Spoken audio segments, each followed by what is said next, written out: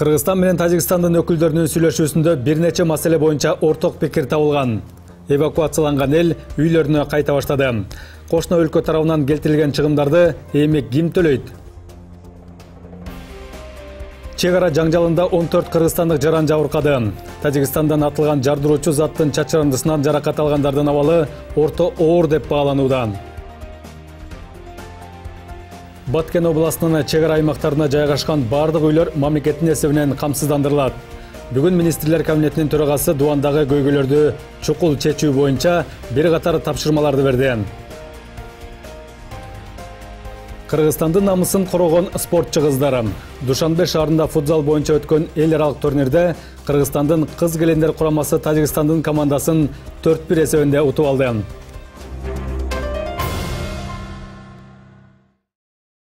Мына ушул жана башка жаңылыктар менен кененирээк мен алтынбек бедилов тааныштырам кутман кечиңиздер менен.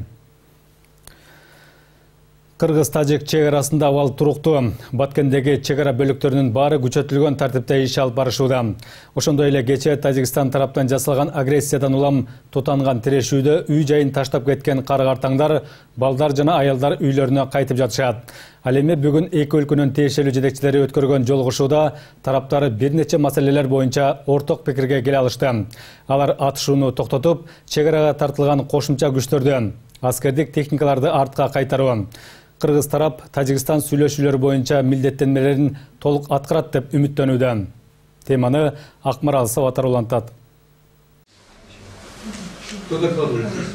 Бүгүн таң атпай баткен аймагына барган укмкнын төрагасы камчыбек ташиев дароо эле тиешелүү жетекчилер менен ыкчам жыйналыш өткөрдү. Андан көп өтпөй чек арадагы достук айылында эки өлкөнүн өкмөт өкүлдөрүнүн жолугушуусу болду. Анын жүрүшүндө кыргызстан менен тажикстан конкреттүү беш пункт боюнча сүйлөшө алышкан. Алар чыр чатактын келип чыгуу себептерин тыкыр иликтей турган комиссия түзүү эвакуацияланган жергиликтүү тургундардын кайтып келишин камсыздоо аскерлерди тиешелүү техникаларды чек ара сызыгынан чыгарып кетүү баткен исфана жолун толук ачуу жана электр абалларын калыбына келтирүү ошондой эле чыр чатактарды мындан ары болтурбоо максатында чек ара тилкесинде чогуу көзөмөл күзөт уюштурууда сүйлөшүлгөн.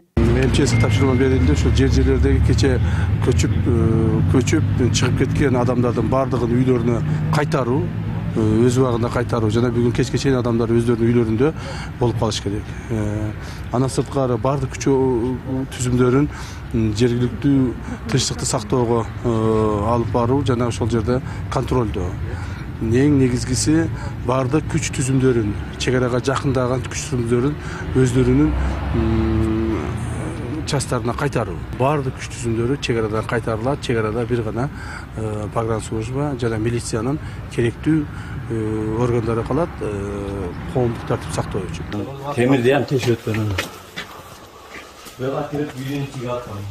Ал жерде оқтар бар солар. Мына мына жерде ұрсала, мына жақта атқан. Мына темір ұшқан жеген да бұл снайпер келіп тиген да. Ал арада кечээ кечинде тажикстан тараптан жасалган агрессиядан улам тутанып кеткен тирешүүнүн кесепетинен там ташы талкаланган жергиликтүүлөр чыгымдарын эсептей башташты. Айрымдарынын үйлөрүнө ок минометтун снарядынын чачырандылары тийсе бир тургундун короо жайы үч үй бир торпогу менен чогуу күлгө айланган менде үч балам бар. Келечекти ойлоңуздар келечекти жетиш керек границаны. Жетмеш ашып кетсе элүү метр деп коеюн элүү метрде мен коргонумдан жүз метр эле өзүмдүн коргонумда өзүм качан эме фундамент ала албайм да дубал кыла албайм туалет жасай албайм мисалы эмнеге өзүңөр ойлоп көргүлө мен сарай сала албайм мал багыш керек дейм айыл жерде жашоодо өзүңөр билесиңер кантип жашаш керек мал багыш керек туурабы жер эгиш керек границаны тосуш керек да тоспосоң кантип ana ушундай октор келип тие берсе анда кандай болот кандай жашоо болот мен түшүнбөйм мисалы мен азыр мына назымов шайбектин короосуна келдик кечинде келип күйгүзүп төрт үй күйүп калыптыр эми муну азыр демеке тартып туруп биз бет управлениеге жөнөтүп жатам милиция менен солдаттарыны гражданский кийгизип киргизип койгон бирок мына биздин алдыбыздагы мына мечиттин тайдагы тажиктерди кече полный алып чыгып кеткен саар менен булар урушаарда элини биринчи алып чыгып кетет биздин кыргыз билбей саат үч жарымга чейин калып кеттик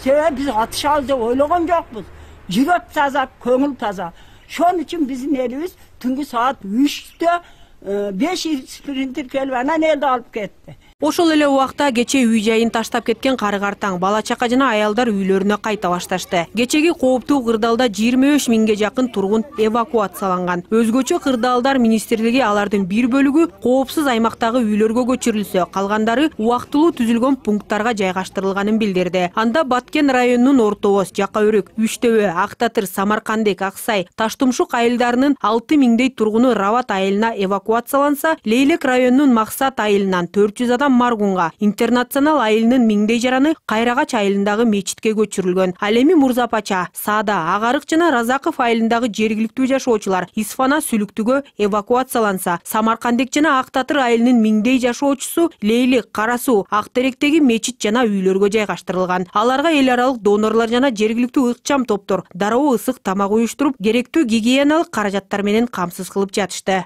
Эртең менен немелер машиналар өтүшүп калды кечинде алтыдан башталды кечээ кыргыз тажик чек арасындагы тирешүү саат он жети отуздарда башталды. Буга тажикстандын чек арачылары ош баткен исфана унаа жолунун баткен районунун төрт көчө тилкесиндеги бөлүгүн бир тараптуу тосуп алуусу себеп болду. Анда тажик тарап макулдашпай туруп курулуш иштерин баштаган. Окуя болгон жерге кыргызстандын укук коргоо органдарынын өкүлдөрү барып элдин тынчын албоо чагымчылдыкка жол бербөө керектигин айтып маселени тынчтык жолу менен чечүүгө чакырышты. Бирок төрт көчө аймагындагы тажик тургундар жолду бууп алда сүйлөшүүлөрдөн кийин жайгарылды. Бирок мындан бир саат өтүп өтпөй чыр дөбө аймагына тажик тараптан ок атылган кыргызстан муну тажик чек арачыларынын атайын жасалган чагымы деп атап тирешүүнүн ырбап кетүүсүнө жол бербөө керектигин билдирип жатышты. Баарынан коркунучтуусу тажик тарап кыргызстандын электр чубалгыларын жана чыр дөбөдөгү укмкнын чек ара кызматынын пункттарын көздөй таамай ок чыгарышып жатканы байкалды көп өтпөй тажик тарап миномет жана гранатометторду колдонгону да белгилүү болду түнкү саат онго чукул баткен районунун карабак айылы менен чектешкен тажикстандын ляккон айылынын чек ара постунда тажик аскерлери бмп бтр сымал оор аскердик техникалары тартылып келип жатканы маалымдалды. Тиешелүү тасмалар телеграм тайпаларда байма бай чыгып жатты. Түнү менен эки тараптын тиешелүү жетекчилери сүйлөшүүлөрдү жүргүзүп жатып таңкы төрткө чукул ок чыгарууну толук токтотуу боюнча келишимге келе алышкандай болду. Эртең менен саат сегиз нөл нөлгө карата чек ара кызматы кыргыз тажик чек арасындагы абал турукташты деп мүнөздөдү тиешелүү маалыматта самаркандек көк таш дахма көчө бою жана головной аймактарында абал стабилдүү экени белгиленип түн тынч өткөнү айтылган. Ал арада бир тараптуу агрессиядан улам тутанган тирешүүдөн кыргызстан тараптан жаракат алган аскерлердин саны он төрткө жеткени белгилүү болду. Алардын абалдары орто оор деп бааланууда. Ошондой эле электр чубалгыларына таамай атуудан улам жарыксыз калган жети айылга бүгүн түштөн кийин электр энергиясы берилди. Учурда баткен областындагы чек ара бөлүктөрүнүн баары күчөтүлгөн тартипте ишин улантышууда. Акмарал сабатар нурбек жеңишбек уулу нтс. Ички иштер министрлиги баткен районунун көк таш айылындагы окуя боюнча кылмыш ишин козгоду. Аталган факты райондук ички иштер бөлүмү тарабынан тынчтыкка каршы кылмыштар беренеси боюнча кылмыштардын жана жоруктардын бирдиктүү реестрине катталып учурда тергөө иштери башталды.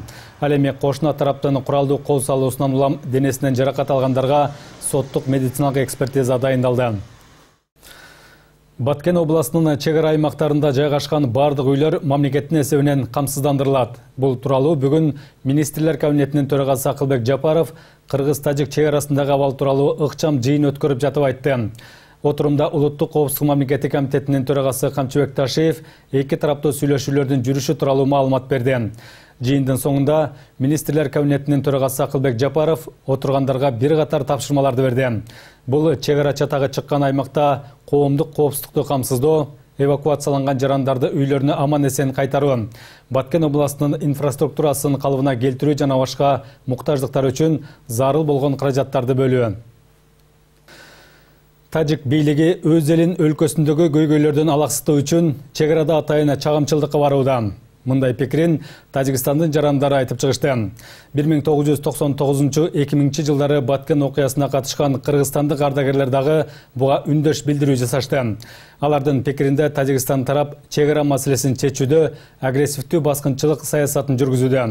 Коңшу өлкөнүн бийлиги тынчтык орнотууга эмес баткендин жер суу кен байлыктарын тартып алууга кызыктар болууда баткенде чек арада кырдаал курчуганда кыргызстандын чек ара кызматы байма бай маалымат таратып жатты. Бул болсо түндө саат үчтөрдө жасалган билдирүү. Тажик тарап террордук уюмдардын сегиз миң согушкери байкалган тажик афган чек ара аймагын күчөтүүнүн ордуна алар кыргыз тажик чек арасында чыр чатактардын күчөшүнө кызыктар болууда. Чек ара кызматынын бул билдирүүсүнө өлкөдөгү бир катар эксперттер туура жана өз учурунда жасалды деп эсептейт. Кол салуу сес көрсөтүү бул кыргызстанды коркутуп алабыз деген эле максатта болуп атат. Коркутуп басым жасап ошонун негизинде биздин мындай бир территориялык бир э, эмелерге э, чегинүүлөргө мажбур кылабыз деген ойдо да каждый раз когда у нас алексей что то происходит в таджикистане да? Бизде тажикстанда кандайдыр бир окуя болсо же жергиликтүүлөр көйгөйүбүздү айтып баштасак рахмон жана анын тарапташтары элдин көтөргөн маселесин унуткарып кыргыздарды жаман көрсөтүүгө өтүшөт. Жыйырма мүнөттүк бул маек болсо youtube каналга бир ай мурда жүктөлгөн. Анда россиялык журналист тажикстандык блогер менен маектешип коңшу өлкөнүн ичиндеги саясий абал эмомали рахмонго болгон элдин ишеними тууралуу суроо узаткан. Ошондой эле кыргыз тажик чек арасындагы жаңжалдар тууралуу кеп козгошкон. Тажик блогери жергиликтүү эл азыркы бийликтин үй бүлөлүк башкаруусунан тажаганын отуз жылда өлкөдө өнүгүү болбогонун белгилеген. Киргизы нам не враги и никаких кыргыздар биздин душманыбыз эмес. Ортобузда талаша тургандай деле чоң маселе жок. Түшүнсөңүздөр кыргыздар менен тажиктер бир топ жылдан бери чек арага жакын жайгашкан аймактарда бир туугандай эле жашап келген. Бири бирине кыз берип келин алып дегендей. Ушул достук мамилени рахмондун бийлиги өз кызыкчылыгына пайдаланып жатат. Кичине эле бийликке коркунуч жаралса эле элдин назарын башка жакка буруш үчүн кыргыздарды душман көрсөтүп баштайт. Элдин турмушу согуштан канчалаган адам кырылат аны кызыктырбайт. Ал үчүн бийликти сактап калуу баарынан жогору турат. Баткендеги чек ара чырынан кийин атын атагысы келбеген тажик жарандарынын билдирүүсүн жергиликтүү маалымат каражаттардын бири жазып чыкты анда тажикстандын куралдуу күчтөрү аскердик техникаларын чек ара аймактарына алып келип элди дүрбөлөңгө салганы айтылат бийлик элди алаксытуу үчүн атайын чагымчылдык кылууда. Мунун аркасында рахмондун бийлиги турат. Кыргыздар менен согушмак тургай биз чыр чатакты каалабайбыз ансыз да тажикстандагы кымбатчылык оор жашоо жетишет. Ворух айылынын жетимиш сексен пайызы россияга көчүп кетишкен. Айыл ичи баңгизат колдонгон аскерлерге толуп кетти. Коркуп жатабыз. Бул токтош керек. Тажик тарап чек ара маселесин чечүүдө агрессивдүү баскынчылык саясатын жүргүзүүдө дейт. Бир миң тогуз жүз токсон тогузунчу эки миңинчи жылдары баткенде террорчулар менен болгон согуштун катышуучусу акмурза тагаев анын айтымында коңшу өлкөнүн бийлиги тынчтыкты орнотууга эмес баткендин жер суу байлыктарын тартып алууга кызыктар болууда. Куралдуу кагылышынын акыртыы жакшылыкка алып келбейт. Адам өлүмдөрү менен коштолуп жаткан кагылышуулар кошуна элдердин достук тууганчылык мамилесине жүз жылдап кеткис так калтырат. Эки элдин талаша турганы сый болушу керек. Биздин кылым карыткан достук байланыш тарых беттерине ташка чегип жазылган азыркы тажик бийлигинин арам ою ишке ашпайт баткен областынын аксакалдарынын атынан тажикстандагы жаалданган согушкерлерге айтарым эсиңерге келгиле кыргызда макал бар. Өзүңдү шер ойлосоң башканы эр ойло мурда э, жаздарда жаз келгенде эле чатак чыгып аткан болсо суу жер талашы. Бүгүнкү күндө бул күндөлүк басым болуп калды да. Бул тажикстан жактан туруктуу мамлекет деңгээлде жүргүзүп аткан саясат. Ошондуктан сүйлөшкөндөн кийин эле эртеси эле алар ошондой провокацияларды жасап мунусуна деле карабайсыңарбы? Жанагы элин ээрчитип келип элге жолду тостуруп пограничник сопровождение кылып охранять этип атпайбы давай жасагыла дегенсип понимаете бул откровенная наглая провокация с их стороны. Кыргыз тажик чек арасы тез арада такталбаса тажикстандын бийлиги каалаган убакта чагымчылдык жасап аймактагы кырдаал курчуй берет дешет эксперттер. Дүйшөн шаршенбеков агзат түлеев нтс. Баткен эли биз силер менен биргебиз. Кечээ күнкү окуядан бери кыргызстандын ар кайсы аймактарынын тургундары баткен областынын жашоочуларына колдоо көрсөтүшүүдө алардын арасында бир миң тогуз жүз токсон тогузунчу жылы баткен окуясына катышкан жоокерлер дагы бар. Ошондой эле коңшу казакстандын жарандары да учурда социалдык тармактар аркылуу кыргыз элин колдогон билдирүүлөрдү калтырышууда. Азатбек калдыбеков бишкек шаарындагы ак ордо жаңы конушунун тургуну кечэтен бери ал бош убактысы боло калса эле үйүндөгү сыналгынын жанына келип акыркы маалыматтарга көз салып жаткан маалы анткени баткен областындагы соңку окуялардан кийин убагында өзү башынан өткөргөн күндөрүн эстейт азатбек калдыбеков бир кездерде куралдуу чыр чатакка аралашып бир миң тогуз жүз токсон тогузунчу жылдагы баткен окуясына чакырылыптыр ал кезде тынчтык орнотуу үчүн жиберилген жыйырма эки жаштагы жоокер аскерден кызмат өтөп келгенде эки жыл толо элек болчу тоо таш болот экен анан баягы кудайырхан эме деген туу деген айылдарга барсак тоо таштуу жер болот экен мен көргөндөнчү биз барган жер кудай деген эмелерге кудайырхандын чеби деген жака барганда ошолор аябай зардалуу эмелер тоо болот экен да бүт эле ошондо жолдору мурун кандай экенин билбейм бирде тажикстанга бирде кыргызстанга бирде өзбекстанга кетип анан барганбыз да анда биз жаш экенбиз эме автобус менен барганбыз анан ошонун эле көйгөйүнөн чыгып атат болуш керек да жер чечилбегендигин эле бири бирине түшүнбөстүк болуп атат учурда азатбек калдыбеков баткен областындагы айрым тааныштарына байланышып кандай жардам берерин билбей убара анын азыркы жалгыз тилеги куралдуу кагылышунун тезирээк токтоосу. Жана чек ара маселесинин тезирээк чечилип жергиликтүү элдин уйкусу бузулбай тынч жашаса дейт. Мисалы могу як жактагылар шаардагы биткендерге билинбеген менен тиги жакта барганда тиги жактагылар оор эле болот мынтыктын үнү эмес. Мындай эле бир заң десе чагылган түштө деле же мындай катуу салют атылып кетсе деле коркуп анан тигилер деген ошо от менен эле ойноп аткан жерде болуп атышат да. Даң даң деп мындай жакын эле жерде болуп атат атышат баткен туугандарыбызга колдон келишинче жардам бергенге даярбыз. Баткенге эле керек эмес бир каршы жер болсо да бүт кыргызстандын жери ошон үчүн кыргызстандын жараны катары мен баткендин бир каршы жерин бергенге даяр эмесмин кечээ кечиндеги баткен областындагы окуялардан кийин элдин көбү азатбек калдыбеков сымал ал жактагы окуяларга интернеттен жаңылыктардан көз салып кандай аяктарын күтүп жатышкан чактары арасында чек ара маселесин батыраак чечүүнү талап кылгандар да бар. Маалыматтар келип жетти телевизордон көрдүм интернет булактарынан көрөсүң. Бирок чындап ачык айтканда баягы өтө көйгөйлүү маселелер козголуп кетти. Ошого патриоттук сезим ойгонот экен э, жөн жата албайт экенсиң. Баардык элдин санаасы ошол эле. Биз мына мисалы үчүн бара калып согушалы деп же бара калып алардын чек арасына кирген да жокпуз. Биз тараптан эч күнөө жок. Баардыгы тынчтыкта э, эч кандай э, эки жакка таасирин тийгизбеген бир туура чечим чыгышы деп ойлойбуз. Эртерээк чечилишин күтөбүз биз дагы аябай неме болуп атабыз? Бушайман болуп атабыз эмнеге мындай болуп атат депчи? Бул өтө начар да ушул кырдаалда ошол жактагы эл кыйналып атат. Бул ал эле эмес бул жакта жүргөн биз да кыйналып атабыз. Ошолор кандай акыбалда калды эмне болду деп. Эми ушул чек ара маселесин тез аранын ичинде чечип бөлүп жерди зым менен тороп аркы беркилерди киргизбей бир өзүнүн мамлекетибизди эртерээк коргоп алсак жакшы болот эле. Биздин могу жогорку кеңештин жетинчи вызовдун депутаттары бири бирин чукушпай андан көрө ушундай ынтымакты элдин көйгөйүн чечпейби. Мына чек ара маселесин чече албай атышат ал арада казакстандын жарандары да кыргызстанды колдогон жылуу сөздөрүн айтышууда коңшу өлкөнүн активист блогерлери менен бирге жөнөкөй интернет колдонуучулары дагы социалдык тармак аркылуу кайрылууларын жазып жатышат. Билдирүүлөрдүн көбүндө кыргыз казак бир тууган эл экендиги жана казакстандын башына кыйын күн түшкөндө кыргыз эли да дайыма колдоп келген деген пикирлерди көрүүгө мүмкүн. Ошондой эле жардам көрсөтүүнү сунуштагандар дагы жок эмес. Дастан жолдошов динислам бейшенбаев нтс чек арада кырдаал курчуп турган чакта ич ара тирешип митингдерди уюштуруу туура эмес. Учурда кыргызстандыктар биргеликте бул абалдан чыгып кетүүнүн жолун издеши керек. Бул тууралуу бүгүн кактус медиа маалымат агенттигинин жабылуусун талап кылып уюштурган митингде айтылды. Бир катар жарандык активисттер бүгүн аталган медианын имаратынын алдына нааразычылык акциясына чыгышты. Алар кыргызстан менен тажикстандын ортосунда чыккан чадакты чагылдырууда аталган агенттик кыргызстандын кызыкчылыгына каршы иштеди деп жатышты. Ал эми кактус медиа бул боюнча түшүндүрмө берип алардын максаты тажик тарап кандай маалымат саясатын жүргүзүп жатканын кыргыз коомчулугуна жеткирүү болгонун билдирди. Журналисттер так жеткире албай калган үчүн коомчулуктан кечирим сурашты.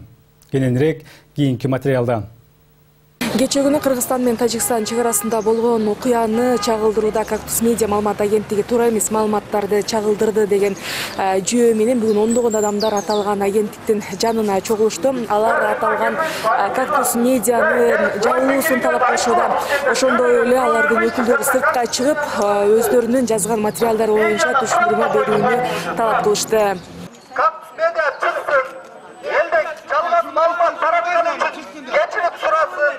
өздөрүн жарандык активист катары тааныштырган нааразычылык акциясынын катышуучулары колдоруна ар кандай плакаттарды көтөрүп алышкан. Ошондой эле ар кандай жазуулары бар кагаздарды тосмолорго илип коюшту. Чогулгандар кактус медиа баткенде чыккан чатакка кыргызстанды айыптаган тажикстандын бир тараптуу пикирин сайтына жарыялады деп күнөөлөп жатышат. Муну чыккынчылык катары сыпатташты. Жөн эле өзүбүздүн жарандык активисттер келдик да могу кактус медианы чыгарып алып туруп айталы деп атабыз эмне үчүн сен ушундай жалган маалымат жибердиң? Анда кайрылсын урматтуу президентибиз бар камчы кыдыршаевич деген ошол жерде жүрөт биз кечирим сурайбыз биз андай маалыматты мондай алдык элек могу тажик тараптан алдык элек ошону жиберип ийгенбиз деп айтсын анда чыгып айтсын чыгып айтсын ошо билдирүүнү жок мен өзүлөрү өзүлөр билдирүүнү алып чыгарсын өзүлөрү чыгарсын канакей кактус медиа өзүлөрүн кимиси бар кайсы журналисттер бар чыгып туруп айтсын ошол ким жиберди тактап туруп маалымат жок туура маалымат бериши алабым ушул кактус медиа чыгып ошол жерде туура эмес болуп калыптыр ушул информацияны биз жазып чыгытышты деп жок жок азыр чыгып жооп берсин азыр мынанча элдин астында. мынанча элдин астында? канча канча элдин астында үч өңүр төртөө канча журналисттер турат чыгып жооп берсин митингге чыккандардын айрымдары кактус медиа чыгарган жаңылыкты окубаганын жана алар берген түшүндүрмө менен тааныша электигин айтып келгендерди таң калтырды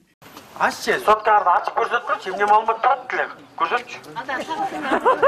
Нет, а таким образом вы согласны выходить на любой митинг и азыр кричать окуп берейинчи туруп турчу анда окуп берейин Давайте, давайте. каяка аччы каяна кимде кимде кимге жазылып турат керек өзүң жазып келген турасың ошондо баары тең ушундай да бүт баары тең түндө кактус медиа сайты азия плюс тажик басылмасынын чек арадагы кырдаал боюнча жазган маалыматын көчүрүп жарыялаган маалымат агенттиктин өкүлдөрү макаланын жалгыз максаты тажик тарап кандай маалыматтык саясат жүргүзүп жатканын тажикстандын бийлиги катардагы жарандарына кандай маалымат таркатканын кыргыз коомчулугуна көрсөтүү болгонун айтышууда түшүнбөстүктөр жаралып кеткени үчүн кактус медиа агенттигинин журналисттери коомчулуктан кечирим сурашты Мы сделали перепечатку таджикского СМИ, где азия плюс тажик басылмасынан алынган маалымат боюнча оюбузду так жеткире албагандыгыбыз биздин катачылык. Ошого байланыштуу баардык кыргызстандыктардан кечирим сурайбыз. Бирок тажикстандын ммкалары маалыматтык согушту уттуруп жибербөө максатында кандай маалыматты таратып жаткандыгын баардыгыбыз билүүбүз кажет деген пикирдебиз. Кактус медиа редакциясы ар дайым кыргыз элинин кызыкчылыгын коргоп келген жана мындан ары да коргой берет. Кактус медианы колдоп келгендер да көп болду. Көз карандысыз журналист семетей аманбеков чек арада кырдаал курчуп турганда минтип митингге чыгуу туура эмес деген пикирде. Ал мындай нааразычылык акция аркылуу сөз эркиндигине карата басым жасоо аракети болуп жатканын айтат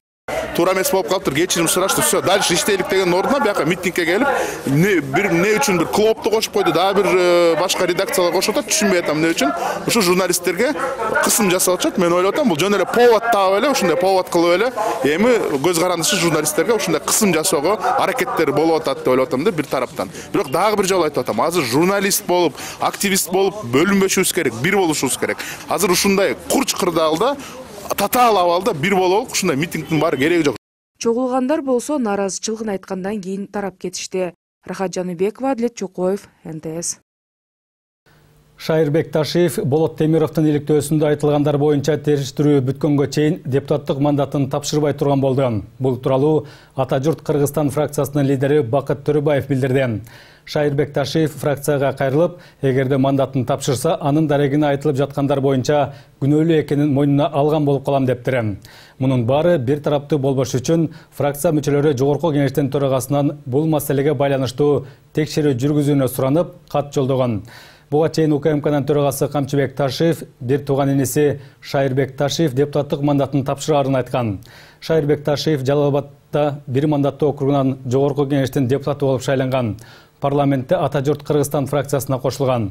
Эгерде ал депутаттык мандатын тапшырса, Жалал-Абад бир мандаттуу округунда кайрадан шайлоо өтөт.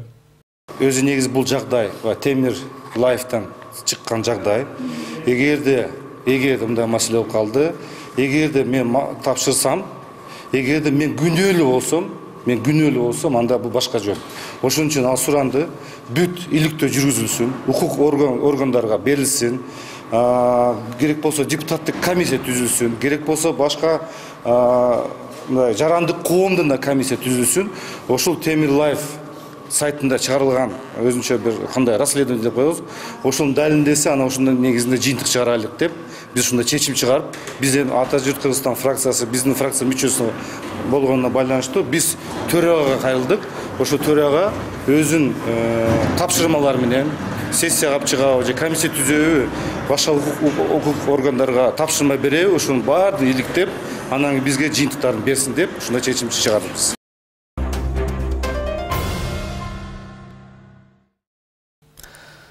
Ошто каракчылык кылган кылмыштуу топ кармалды. Шаардык милиция тараткан билдирүүгө ылайык 11 январда түнкү саат 12лерде алар Ош шаарынын тургунунун үйүнө барып, алгач терезесин бузуп кирип, эшигин ачышкан. Үйдө балдарын карап отурган аялды көргөн кылмыштуу топтун бир мүчөсү бычак менен коркутуп, сейфти ачуусун талап кылган. Кылмышкерлер ал жактан 1400 доллар, 12 миң сом, сөйкө, алтын чынжыр билерик жана эки уюлдук телефонун карактап кетишкен шектүүлөр зер буюмдарды жалал абад шаарына алып барып жүз он жети миң сомго сатып акчасын бөлүп алышкан. Тергөө амалдарынын жүрүшүндө кылмыштуу топтун мүчөсүнөн телевизор ноутбук ошондой эле белги берүүчү бир тапанча алынган. Шектүүлөр убактылуу кармоочу жайга киргизилген. Учурда тергөө амалдары уланууда. Жусуп баласагын атындагы кыргыз улуттук университетинин оштогу филиалынын деканынын студенттерден пара алганы боюнча соттун өкүмү чыкты фемида өкүлдөрү ал аялды төрт жүз миң сом айып төлөөгө милдеттендирди бирок шектүү соттун өкүмүнө макул болбой ош областык сотуна апелляциялык арыз менен кайрылган былтыр укмк окуу жайдын айрым кызмат адамдары пара алууга катыштыгы бар экендиги аныкталганын билдирип жашыруун тартылган видеону жарыялаган анда деканы бир нече адамдан акча алып жатканы көрсөтүлгөн кийин университеттин жетекчилиги окутуучулар менен биргеликте сессия жана мамлекеттик сынактарга кирүүгө уруксат берүү үчүн чет элдик студенттерден пара алып турушканы ачыкка чыккан студенттерден пара алууга шектелип кармалган декан кызматынан убактылуу четтетилип үй камагына чыгарылган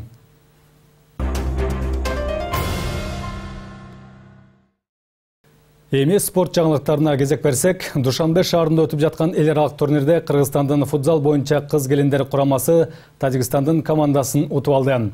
Эсеп төрт бир биздин футболчу кыздар ушуну менен экинчи жолу коңшу өлкөнүн спортчулары менен кездешүүдө жыйырма экинчи январда эки команда алгачкы беттешин өткөрүп оюн бир бир эсеби менен аяктаган кафа women's futsal championship 2022 эл турнири 19 январда башталган ал эртең жыйынтыкталат турнирге кыргызстан иран өзбекстан жана тажикстандын курама командалары катышууда пекиндеги кышкы олимпиада оюндарына катыша турган кыргызстандык жалгыз спортчу максим гардеевке өлкөнүн туусу тапшырылды.